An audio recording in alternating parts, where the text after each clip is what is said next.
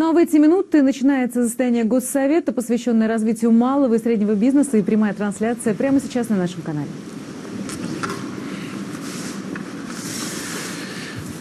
Добрый день, уважаемые коллеги. В нашей повестке сегодня вопрос, который в текущей ситуации, он вообще важен, но в текущей ситуации приобретает особую экономическую, социальную и общественную значимость. Развитие малого и среднего предпринимательства не только одно из ключевых условий обновления страны, обновления экономики, повышения ее устойчивости, но и в целом нашего успеха. Ну а в эти минуты начинается заседание Госсовета, посвященное развитию малого и среднего бизнеса и прямая трансляция прямо сейчас на нашем канале.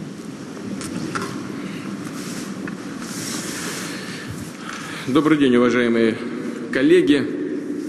В нашей повестке сегодня вопрос, который в текущей ситуации, он вообще важен, но в текущей ситуации приобретает особую экономическую, социальную и общественную значимость. Развитие малого и среднего предпринимательства не только одно из ключевых условий обновления страны, обновления экономики, повышения ее устойчивости, но и в целом нашего успешного движения вперед.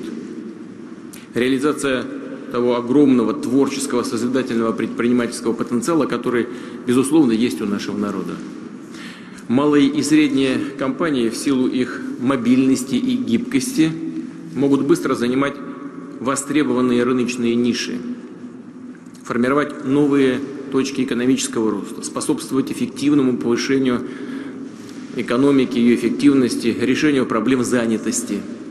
Добавлю, что все активнее проявляет себя частное предпринимательство и в социальной сфере. В России в целом созданы организационные и правовые основы государственной поддержки малого и среднего бизнеса включая упрощенное налогообложение, систему грантов на открытие собственного дела, предоставление микрозаймов, гарантий, кредитов на льготных условиях. Решается доступ, расширяется доступ малого и среднего бизнеса к закупкам государственных компаний и компаний с госучастием. Действительно, в последние годы мы значительно улучшили деловой климат – Вместе с тем, малый и средний бизнес развивается по-прежнему медленно. Он представлен прежде всего индивидуальными предпринимателями и микропредприятиями. Его вклад в ВВП страны не превышает 21%.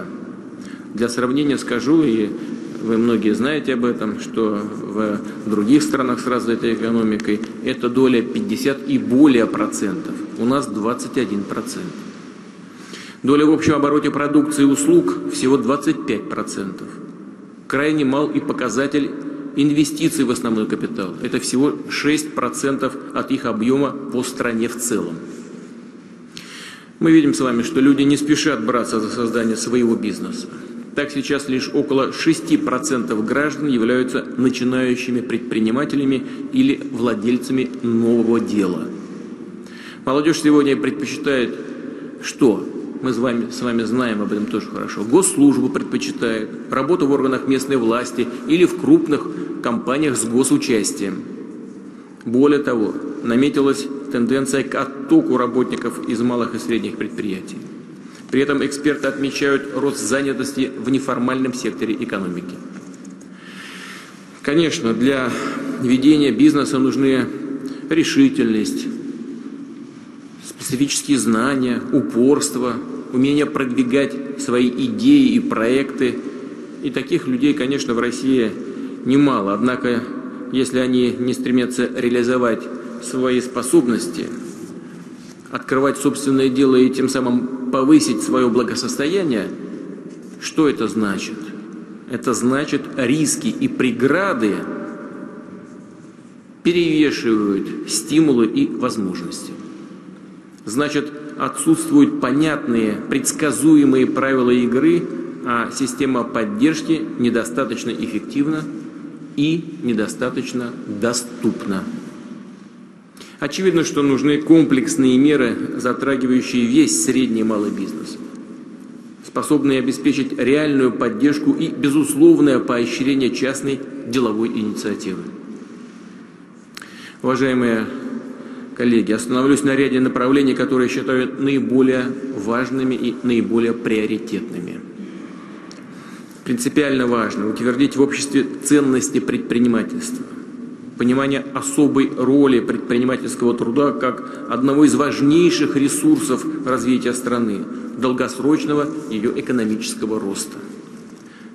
Государство, все уровни власти должны сделать все возможное, чтобы занятие бизнесом стало привлекательным, доступным и престижным. Чтобы создавались равные условия для всех предпринимателей. Чтобы правила и законы были стабильными и понятными. Чтобы обеспечивалась честная и открытая конкуренция. И никто не мешал работать, не лез с крышеванием, не вымогал взяток, поборов, не предлагал так называемые навязанные услуги. И сейчас скажу, наверное, самое важное, самое, самое ключевое и самое простое. Создание благоприятной деловой среды в каждом регионе и муниципалитете по всей России является ключевым условием для развития малого и среднего бизнеса. Не будет этого, не помогут никакие льготы, никакие преференции и никакие гранты. Нужно создавать благоприятную деловую среду. Я прошу руководителей субъекта Федерации со всей ответственностью подойти к решению этой задачи. Настроить свои команды на результативную работу. Не отмахиваться от этого как от чего-то второстепенного. Вы лучше знаете, что следует сделать для создания на своей территории более комфортного делового климата. Нужно такой работой заниматься вплотную, проявлять инициативу, быть в постоянном диалоге с бизнес-сообществом. Скажу еще об этом чуть позже, но совершенно очевидно, что нужно создавать некоррупционные, прозрачные механизмы взаимодействия с бизнесом. Это важнейший показатель состоятельности управленческой команды. Подчеркну, что, для, что по опросам значительное число компаний по-прежнему считают административные барьеры тяжелым бременем, которое очень сложно нести. Полагаю, что нужно честно, без ссылок на объективные трудности, проанализировать положение дел в каждом регионе. И не для отчета, а для дела, для страны и для людей устранить все препятствия, которые мешают работать бизнесу. К примеру, мы давно говорим о необходимости доступа предпринимателей к инфраструктурным ресурсам. Это и прозрачные правила присоединения к газовым сетям и иным коммуникациям, и предоставление на льготных условиях неиспользуемого государственного или муниципального имущества. Однако эти проблемы решены далеко не везде.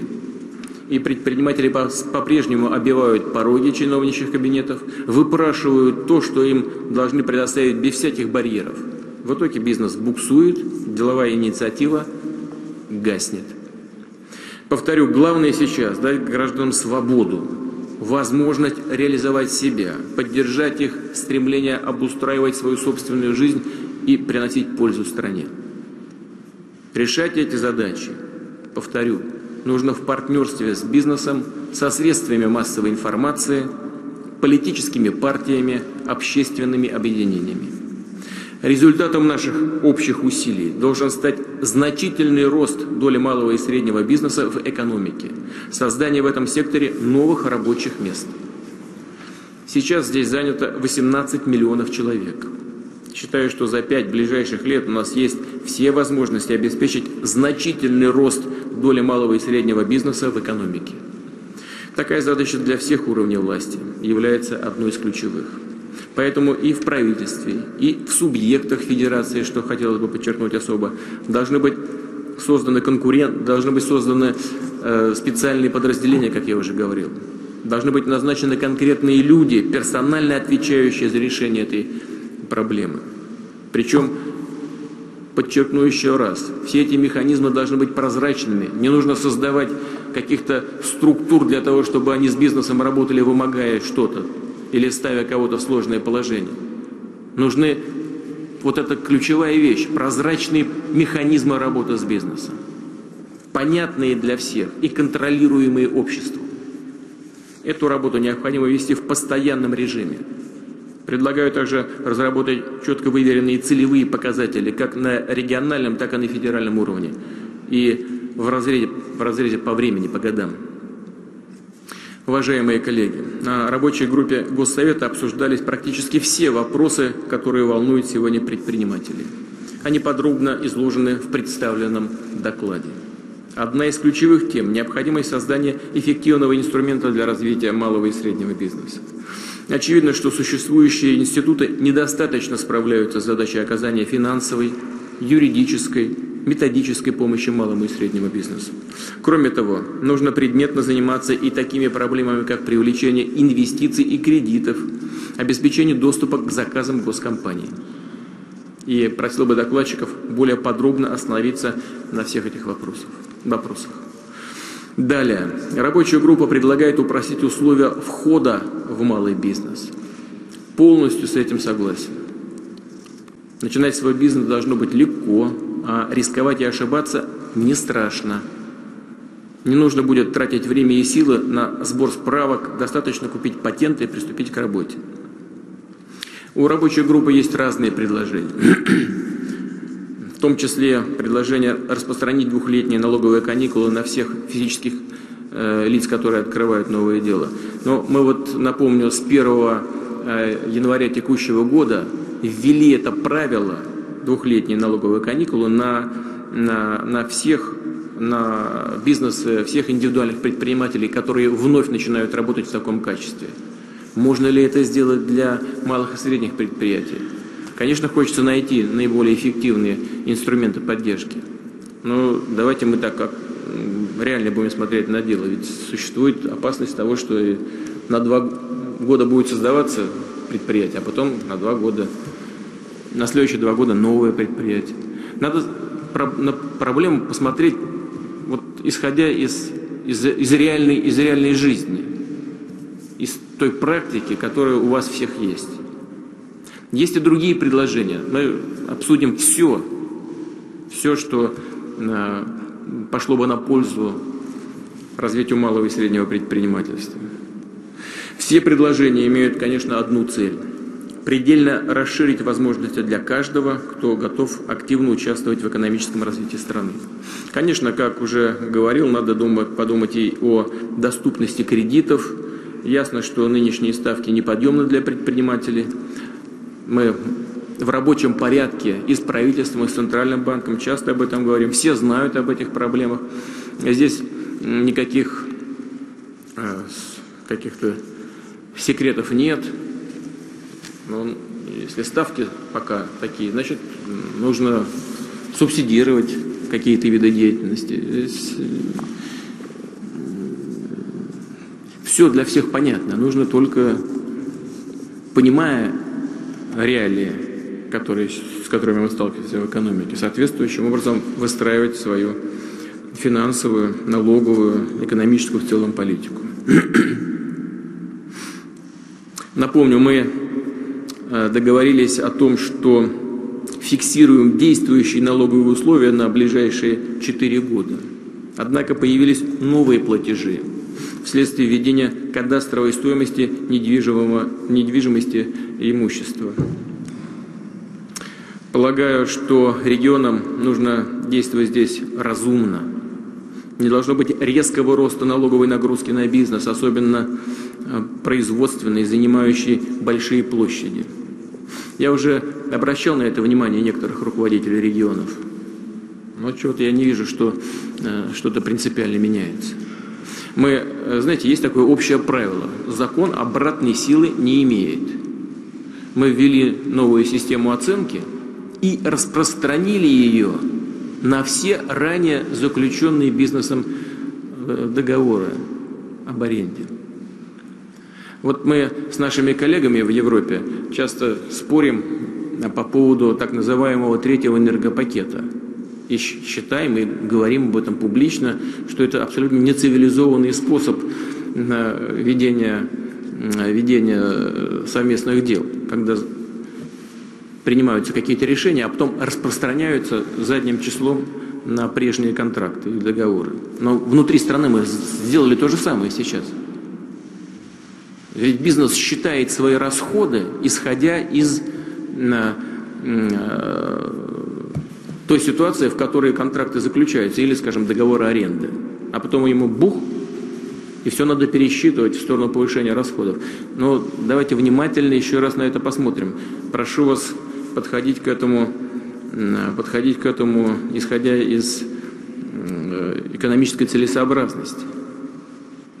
Что касается проверок со стороны контролирующих органов, здесь все поручения давно даны. Прошу Генеральную прокуратуру проанализировать обоснованность проверок, проведенных в 2014 году, прежде всего внеплановых.